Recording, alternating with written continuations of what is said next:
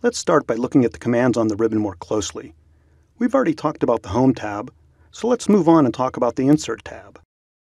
The Insert tab has just about everything you'll want to insert things on a page, such as adding space, tables, files, images, and so on. Let's insert a table really quickly.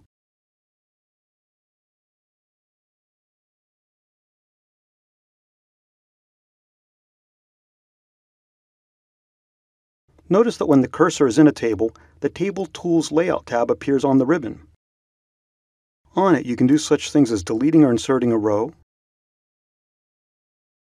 shading cells, aligning data, and so on. When you click outside the table, you notice that the Tables Tools tab goes away. And again, when you click inside, it comes back. The Draw tab has the tools to draw and write with. You can also insert shapes on this tab. Here I'll draw a circle around a building on the map.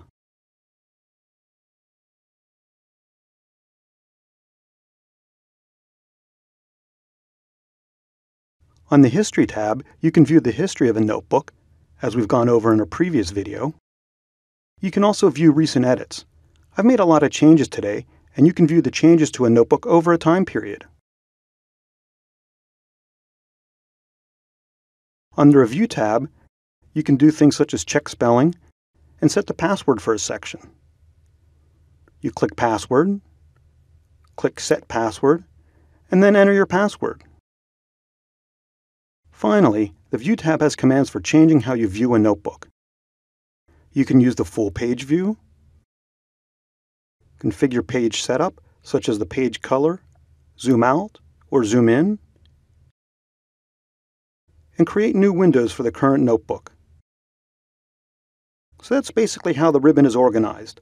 Up next, we'll take a closer look at sharing a notebook.